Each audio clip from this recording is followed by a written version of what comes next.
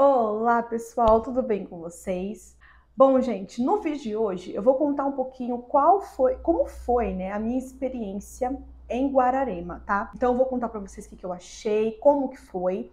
Nós fomos no mês passado, em janeiro. Então nós fomos em fevereiro agora, primeira semana, então faz pouco tempo. É bom que eu fiz aqui um roteirinho, tá bem fresquinho aqui na minha cabeça.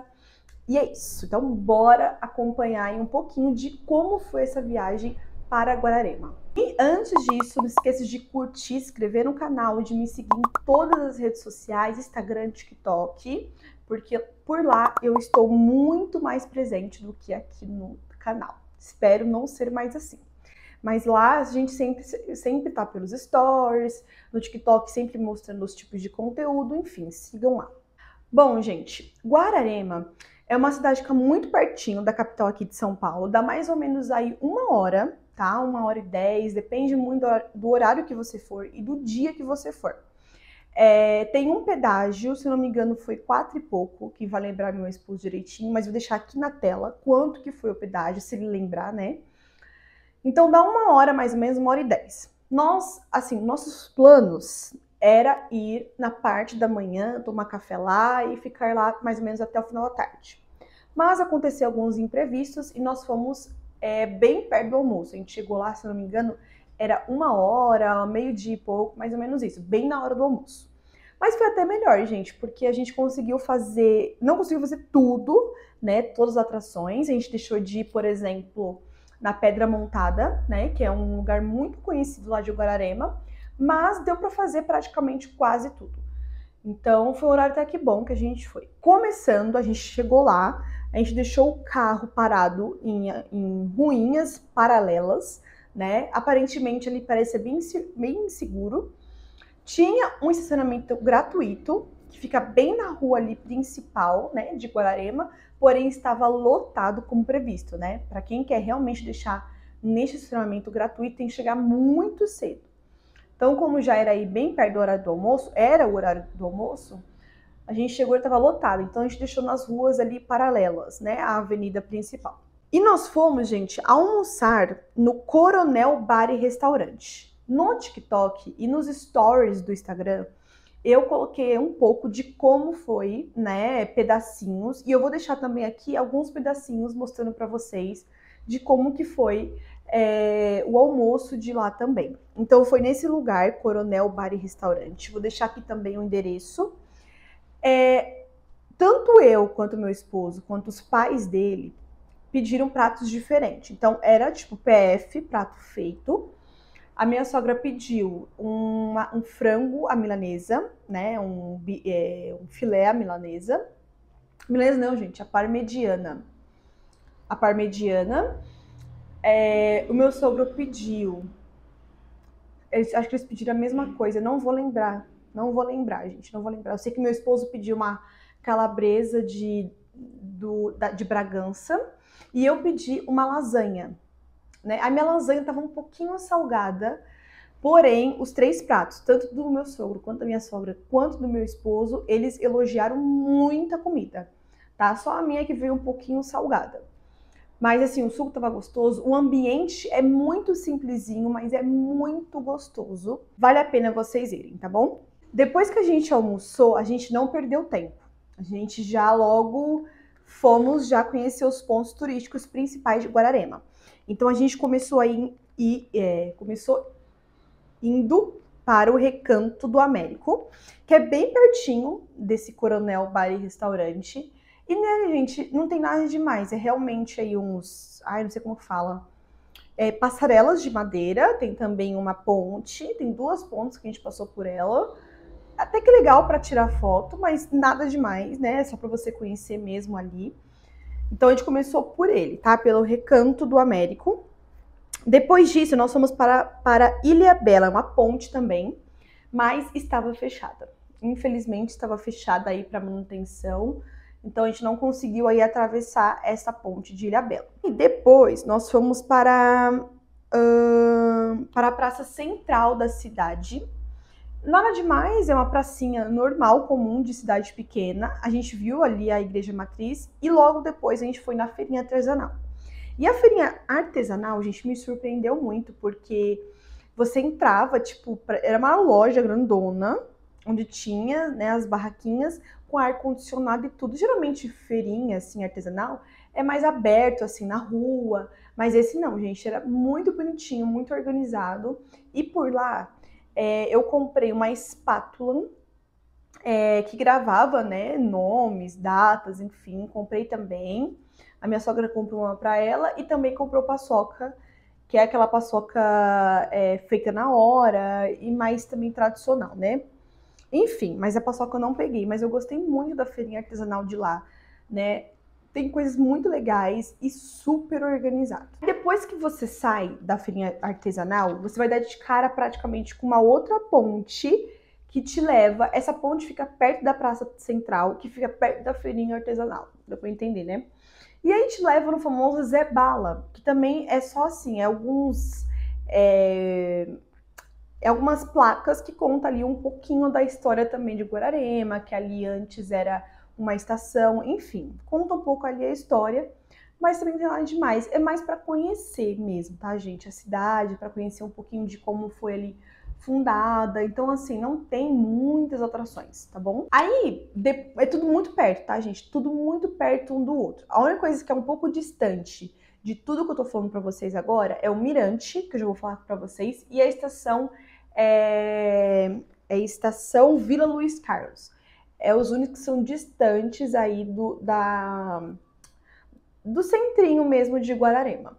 Então, depois que nós passamos por esse Zé Bala, fica perto da feirinha artesanal, nós fomos para um, um lugar que, que, fica bem perto da, da igreja matriz, que, onde tem um monte de lojinhas. Mas lojinhas que não tem nada demais, é mais lojas assim para a população, onde tem é, lojas de artigos de decoração, é, que tem também coisas de informática, nada demais, é realmente umas lojinhas. Mas eu entrei uma e outra ali para conhecer mesmo, porque eu, eu, gosto de conhecer, eu gosto de explorar ali o lugar e realmente passear mesmo. E depois que nós demos a voltinha aí pelo, pelo, pelo centro de Guararema mesmo, nós fomos para o Mirante, que é onde eu estava com mais expectativa também.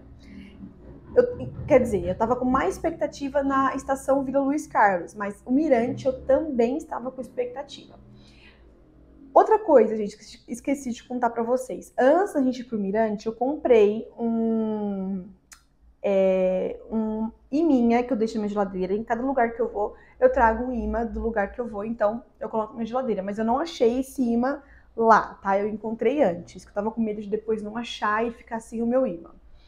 Então, depois que nós conhecemos essas lojas, né, do centro de Guarema, nós fomos para o Mirante. Então, você é bem pertinho, mas tem que ir de carro, porque é uma subidinha e cansa, tá, gente? E eu que sou sedentária, meu Deus, se eu subisse ali, eu não ia aguentar, não ia ser de lá para casa, porque eu ia ficar morta.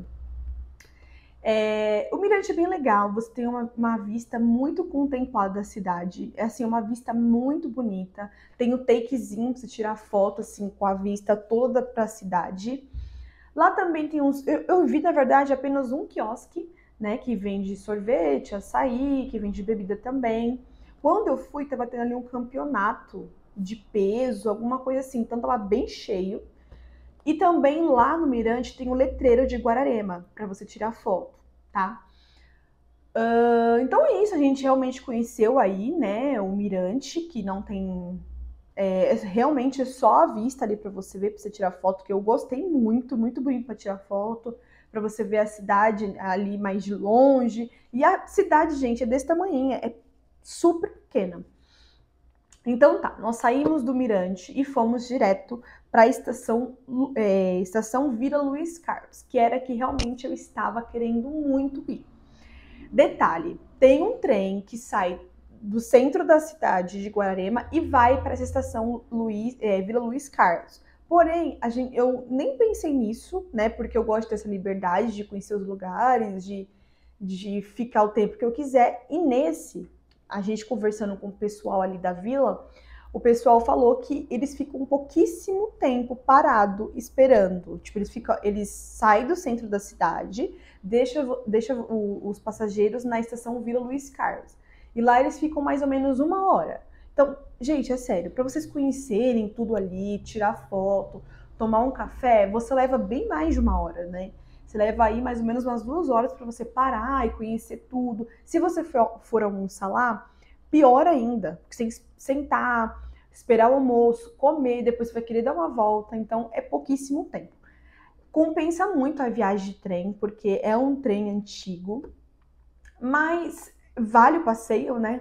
Mas também você não tem aquela liberdade de ficar é, o tempo que você quiser. Fora que a passagem, o cara até falou pra gente da vila, mas eu não vou lembrar, mas era bem salgadinho, acho que era 100 reais. Mas para quem né, quer muito fazer essa viagem, vale a pena. Então é isso, chegamos lá de carro mesmo, depois que a gente saiu do Mirante, na estação é, Vila Luiz Carlos. E a gente começou, gente, é muito bonitinha, lembra muito as casinhas que ficam em Paraty. Eu nunca fui para Paraty, mas já vi as fotos, né, de Paraty e lembra muito, muito, muito, muito. E lá a gente conheceu, tirou fotos. Nós fomos tomar um café na Roça Chique. Gente, que lugar perfeitinho e fofinho, assim bem coisinha de interior mesmo, sabe? Um lugar super agradável. Tinha a parte interna e a parte externa. Nós ficamos na parte externa, ali aberto, sabe? Um lugar aberto, bem gostoso, uma decoração muito gostosa. E nossa, gente, muito bom. É, o meu sogro, minha sogra e o Rafael pediram é, café quente mesmo, coado na hora. E pediram também bolinho de chuva. Eu tomei só um frappé de café, porque no dia tava muito calor, tava suando, e eu não ia tomar um, uma coisa quente. Então eu queria uma coisa gelada, mas eu queria tomar um café porque eu tava num ambiente que pedia café. E eu não sou de tomar muito café. Mas esse dia eu tomei café porque Gente, o lugar, ele pede café. É um lugar muito gostosinho, é uma cafeteria muito gostosa. Se vocês forem nessa Vila Luiz Carlos, vão nessa cafeteria. Vale muito a pena. Vou deixar o arroba deles aqui, vou deixar também aparecendo umas imagens que eu fiz desse lugar Roça Chique, compensa muito, tá? Uh, aí a gente andou por lá, andou mais um pouco, andamos muito lá, é, conhecemos o CAT, onde tinha é, exposições, né, mostrando os principais lugares de Guararema. E também tinha também um lugar que você podia experimentar algumas roupas antiga, bem antiga, tirar fotos com ela, porém você pagava, né? Então, tinha um custo e não era baratinho, mas, gente, quem tem, quem pode, deve tirar, porque é uma recordação que fica e é muito legal. A gente acabou não fazendo, não dando para fazer, mas quem pode, faça as fotos, porque a gente viu uma família fazendo e é sensacional. Tomamos também um sorvete. O único ponto negativo dessa sorveteria, que eu não vou lembrar o nome, porém acredito que seja a única sorveteria da estação Vila Luiz Carlos, é que passava somente débito, gente. De, é nem era débito, era débito. Não é todo mundo que pode pagar no débito ou no dinheiro. Então isso acaba atrapalhando um pouco, né? Então a gente acabou nem curtindo tanto, porque, gente, não tinha débito assim, ó, dinheiro na hora não tinha, entendeu? Então, esse era um ponto positivo, porém o sorvete era bem refrescante e bem gostoso também. Então, gente, basicamente a sessão Vila Luiz Carlos foi isso. Eu vou deixar aqui uns pedacinhos de lá para vocês verem que lugar gostoso de vocês conhecerem, de vocês levarem a família de vocês. Essa foi um resumo da nossa viagem. Mais uma vez, eu não fiz vlog porque eu fico focando, gente, em gravar para outras plataformas e acabo não conseguindo gravar para o YouTube. Mas nas próximas, que se Deus quiser vai ter, eu vou tentar, gente, tentar lembrar de gravar é, aqui para o YouTube, porque vocês vão ter mais imagens interessantes, né? Numa, é, num ângulo melhor para vocês conhecerem o lugar, para vocês poderem ir. Mas é basicamente isso que dá para vocês fazerem um dia em Guararema. Valeu muito a pena, muito a pena. Nós gostamos muito da cidade. Então eu recomendo muito vocês irem. Não gasta muito, tá? Não gasta muito. Gasta pouco, então compensa vocês irem. Então essa foi mais uma dica de viagem que eu dei aqui pro canal. Tem mais um lugar que eu fui, que eu não fiz o vídeo, eu acabei esquecendo, acabou passando, que foi para Embu das Artes. Eu gravei São Roque aqui para vocês, mas em Embu das Artes eu acabei esquecendo de gravar. Mas eu vou fazer um roteirinho de todos os lugares que eu fui para poder passar para vocês aqui direitinho, tá? E também tem algumas imagens do TikTok que eu vou deixar aqui para vocês, lá de Embu das Artes também, quando eu fizer o vídeo. Então é isso. Esse foi o nosso rolê de um dia para Guararema. com certeza a gente recomenda para outras pessoas, tá? Então é isso, gente. Espero muito que tenham gostado. Se vocês gostam desse tipo de vídeo, de viagem, de bate-volta, me deixa aqui nos comentários. Ou se não, sinaliza curtindo o vídeo, compartilhando com alguém. Enfim, então é isso. Espero muito que tenham gostado. Um super beijo e até o próximo vídeo. Tchau!